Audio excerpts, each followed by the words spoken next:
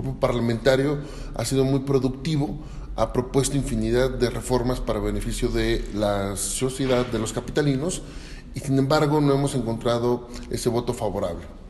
Por el simple hecho de que las iniciativas provienen de Acción Nacional, las han votado en contra. En el próximo año, el próximo periodo legislativo, venimos con una agenda depurada, una agenda muy eh, determinada desde el Grupo Parlamentario de Acción Nacional y lo que buscamos, pretendemos encontrar esas áreas de oportunidad, que entienda el gobierno, que entienda la mayoría, que Acción Nacional también tiene propuestas para beneficio de los capitalinos. Esperamos apertura, esperamos diálogo, esperamos la construcción de acuerdos, encontrar los puntos de coincidencia e irnos sobre esos puntos de coincidencia para lograr antes que todo y sobre todo sobre todas las cosas, un beneficio para los capitalinos.